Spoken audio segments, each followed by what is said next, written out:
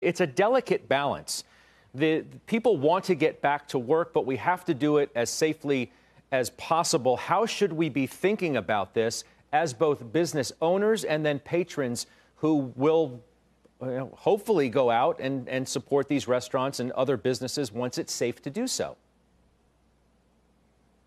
Well, I think a lot of people are going to be looking to stay local. I think what you're going to see is local restaurants within local communities probably doing things to reassure the local community that they're um, providing good oversight of their establishments. You could even see restaurants banding together and other small businesses coming together in a local community and putting a testing machine in a local urgy center and saying, well, we test our waiters every, every Thursday night. I think those kinds of things aren't going to be that unusual. The other thing that state governments and local governments could be thinking about right now is trying to relax ordinances that allow more activity to be moved outside. There's a lot of data now that says that uh, the spread of this virus is less efficient outdoors. There was a study out of China recently that looked at clusters of illness um, and traced back where the index case was. And in every single case, the index case that infected other people occurred indoors, not outdoors, when we're talking about large groups of people that became infected. And so there is some belief that if you move certain activities outside, it's lower risk, not no risk, but lower risk. And so local communities can relax ordinances, allow restaurants to move tables outside on sidewalks, and in parking lots, other places,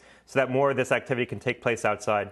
Dr. Gottlieb, there's another development in a story we first spoke about last evening, and that is comments made by the CDC director to the Washington Post yesterday to refresh our viewers' memory. It's when he said there's a possibility the assault of the virus on our nation next winter will actually be more difficult than the one we just went through. The president tonight at the news event said that he said that the CDC's uh, leader was totally misquoted. Then uh, Mr. Redfield clarified. Let's listen, and we'll react to it on the other side. Here's the CDC director this evening.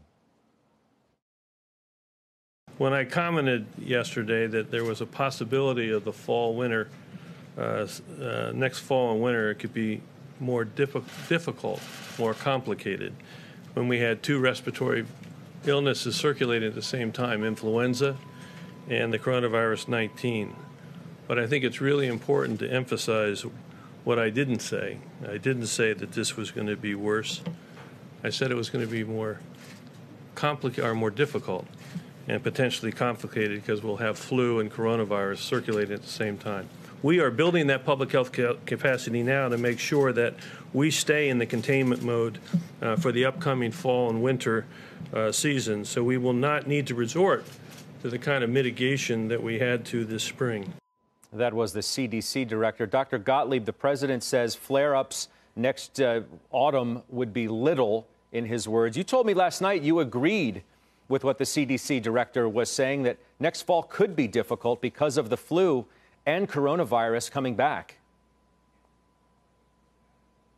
Well, that's right. It's certainly going to be more complicated having coronavirus circulate with the background of flu. Um, when we know flu is going to become epidemic starting in the fall into the winter, so it's going to complicate our ability to diagnose coronavirus when, it, when um, signs and symptoms of coronavirus are going to be easily confused with flu. Um, this does have the potential to become epidemic in the fall and going into the winter, the coronavirus. I think we are going to have a better toolbox heading into the fall. We're going to be more vigilant. We're going to be screening and testing for it.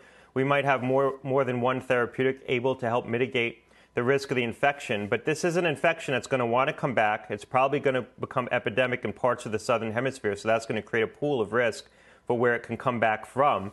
And this spreads very easily, spreads certainly as easily as the flu, probably more easily than the flu. So heading into the fall when Colleges are back in session, schools are back in session, people are going back to work more. Maybe they're laying the guard down a little bit. There's a real risk that we could have large outbreaks in this country. I don't think we'll see an epidemic on the proportion of what we're having now. I think we can prevent that. But we'll certainly see outbreaks in the fall, and some of them could be quite large.